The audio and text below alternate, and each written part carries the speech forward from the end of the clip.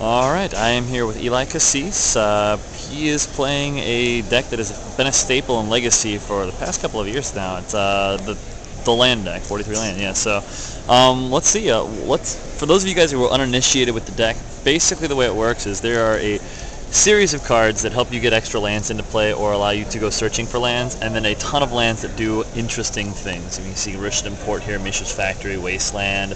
Uh, there's this nifty little package down here that we'll get into in a moment. It's just a bunch of little silver bullet lands that all perform various functions, and like Maze of Ith to keep locking things down. Um, yes, and uh, Tolaria West to go search.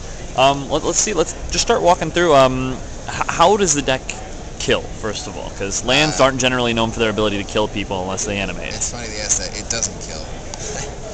Worm Harvest and Mishra's Factories can be a late game kill condition. Mm-hmm. I went with Worm Harvest. Some people play Mindslaver. Okay. I felt the Mindslaver lock was just too inconsistent and overcasted.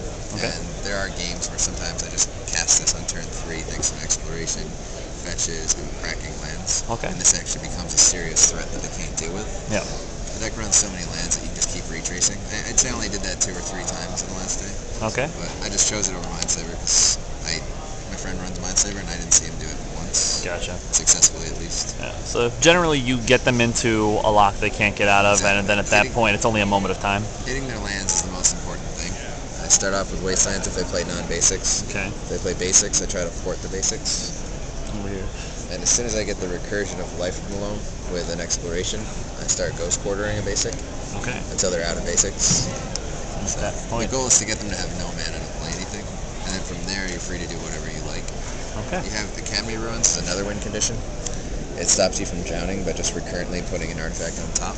Okay. So you can make them run out of cards first. Okay. Also, with Engineered Explosives and the Academy Ruins, you can kill off all their board once all their mana's gone. So as long as you're not dying, you're all set. All right. The not dying cards are all about Maze and Tabernacle. Tabernacle stops them from having too many threats, and Maze stops the few threats that they have. Nice little combo together. Yeah. Looks like you've got the Glacial Chasm here also to help buy time to get some of the really aggressive this decks. Is, this is important against any burn spells, and it also locks down some players. Frequently, you're going to go for a Zuran Orb, Glacial Chasm, and have Life from Loam and this will just be a lockdown. You'll play it, you'll pay two life once, and then next turn you'll sack the Zuran Orb, and then bring it back with life from the and then play it again. Yeah. It doesn't cost you any land drops, it costs you equal land drops. So you just stay where you are in terms of lands, mm-hmm. and he stays where you are in terms of life too. So right. They're just done attacking you. And if they have burn and you have Zuran Orb, you don't really care much either. Right. With an exploration out, it becomes that you get to actually get your land drop back. And at that point, you start pulling ahead. And the reason you lose a land drop is this makes you sack land when it comes in. Right. Uh, Riftstone Portal, showing that you're dredging. Judge Matt Lemke. Yep. Really good because it lets Maze of Ith, Glacial Chasm add mana. Which is pretty useful considering that's one of the dead things about exactly. the deck. I just, I just lost a match where if I had hit this with a loam, I would have won instead of lost. Yeah. It's that big sometimes. I was actually considering running two. Okay. Some decks run a main deck Tormod's Crypt. I decided to go with a Bojuka Bog instead. Okay. Easier. It still gets with Tolaria West. It still comes back with Life of the Loam. And I can currently use it with Wasteland without having to have the Academy Ruins lock because I can just do it with the Loam. Right. So I just determined that that would be the better way to go. Okay. Um, let's see. So the deck, you're looking in your what are you looking for in your opening draw with this kind of deck? Uh, you're looking for one of these. And basically, if you don't have Life from Loam, you want Intuition to get Life from Loam. Okay. Because it's obviously the power to the deck. It's almost an ancestral recall every turn when you're bringing back three lands and using them. Especially because all of your lands do things for the most part. Exactly. And then you really want Acceleration, one of these 12. You've got Mox Diamonds there, your Explorations, and then and Mana Bond, which is played in no deck other than this one. It's, it's a phenomenal card in this too, because I mean, you literally, since over half of your deck is lands. When you get to activate that card, you're putting a ton of lands into play, and even the cards that generally will go away in those situations are, I mean, if you have to discard a card, it's a lot of times going to be a life from the loam, which you're fine with going to the graveyard. So. What I found really interesting is game one, this is the most powerful accelerant, but mm-hmm. game two and three, I find myself taking these out. Because once you've gotten rid of your hands, you're exposed to a Tormod's Crypt, and they can take your life from the loams out, or yep. deal with all your threats. You have no hidden information, and they have all the right choices to be made. Right. And also, they're a lot slower after sideboarding. People board out their threats to bring in these cards that they're hating against you. Okay. So I find that I usually take out two or three of these All right. in almost every game, two and three. Well, well, while we're on the subject of uh, sideboarding, let, let's take a look at some of the bigger decks in the format. I mean, I've been talking today with a lot of players, and the bigger decks that they, they came into the format preparing for were Goblins, Merfolk, and then Countertop, which are I mean, fairly well represented here today. Uh, how do you plan to beat those decks post-board? Alright, so post board, my plan is bringing in, I usually bring in an extra EE. Okay. Bring in Ancient Grudge against Goblins and Merfolk. If they bring in random hate like Tsabo's Web, you have an answer, but it's also good main because it kills Aether Vial. Okay. And when you're trying to landlock them, you don't want them to have Aether Vial. Right. Uh, then I bring in Ray of Revelation in case they bring in Leyline of the Void. Okay. If I believe they have Tormod's Crypt, Mhm. Chalice of the Void, you set it to zero and they can't crypt you. The only thing that really stops on you is Zuran Orb Mox Diamond, which you're Exactly. fine dealing and with that. Mox Diamond you'll play out on turn one first anyway. Yeah. So you don't even worry about it. And if if you get the case where you already have a one drop accelerator now, Uh huh. then playing a Chalice of one is devastating a lot of. Yeah. So it's, it's pretty good. I have uh, two Ray Revelations in case they have multiple Leyline Avoids. Okay.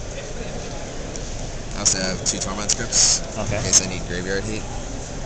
I decided to go with just more than one, even though you can transmute for it, because sometimes I want it in a hurry. Mhm. Other times you'll lose your Graveyard as well, because they're bringing in hate for that, Right. and you'll have a backup one to go for. Good. That's actually my same reasoning with the Engineered Explosives. They'll get rid of your Graveyard while you EE to kill something or a board, Uh-huh. and you'll need another one to be in the game. Got it. Dark Confidants are in there for your control matchups and your heavy hate decks. Bringing in creatures into a deck that runs nothing but lands and ways to get lands. You run that one by you so that you can board. Excellent. You've got all these fetch lands over here that help you get it. Plus, I mean, your deck is designed to go searching for lands effectively. Diamond adds 80 mana. Yeah. I found these were the most effective against Storm, which is your worst matchup. Okay. It first of all puts an early threat on, so they actually on a clock and they can't just sit back and relax. Okay. And then it also draws me to more hard threats because you can't dredge against them because your lands don't actually do much. Right. You can port and waste, but they don't care. They do most stuff at instant speed anyway. Mhm. So these get you your harder answers like Chalice of the Voids that they just can't deal with sometimes. Okay. Uh, I worried about extirpate, so I brought in a Crucible of the Worlds Okay. just in case they extirpate my life from below. I have that out just to keep going. Yeah. That's another chalice. And then the last card is Smokestack. It's just another win condition. If Yep. they're playing a similar board and they can deal with my threats, then I can just make them lose every permanent in order to get in. This card is hardly ever bought in. Got I don't actually recommend it in future lists. That's fair. I mean, well, this deck seems like a. I mean, it's just a crushing grind at some point. It's a, it's a attrition deck, and your whole goal is to limit your opponent's ability to do anything, while you slowly get the ability to do whatever you want to towards the end of the game. Yeah, that's Magic. exactly. Yeah, Magic is a really easy game when your opponent has no decisions and you can do whatever you want, right? It's true. Great. It's really nice when I can get them to no lands and just ghost board to lock them. Awesome. Just take this sigh of relief. Yeah, there's nothing quite like that feeling knowing you're in, completely in the driver's seat. Yeah. Excellent. Well, let's see. On a, on a scale of one to ten, about how hard would you think this deck would be to pick up and play? I mean, it, it seems like there's a lot of intricate decisions that you can make because you, are playing a lot of one ofs I would and tell any beginner or any intermediate player not to play this deck. Okay. Highly unrecommended. There are so many little intricacies to this deck, it's unbelievable. I, I lost the game because I've ridden Catacomb for a tropical of a forest on turn one with no board position. and several people saw it and knew that I should have gone the forest. yeah. And these are all high level players, so So, the well, costs too much. but with lots of practice, a deck like this can be very, very powerful in the right hands. Definitely. Excellent. Uh, Eli, I really appreciate you taking the time to talk to us, and good luck the rest of the tournament. All right, thank you very much.